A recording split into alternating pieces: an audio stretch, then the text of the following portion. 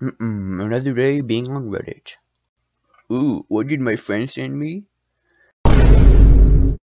Oh yeah, I really like this picture.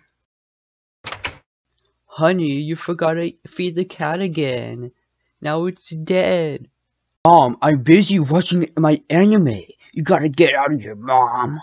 Now, young man, you can't speak to me like that. Go to your room. I'm already in my room, Mom. Go to your room, you stupid whore. Kevin, I can't believe you say that to your own mother.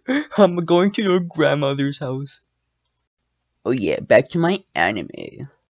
Oh no, my phone died. Oh no.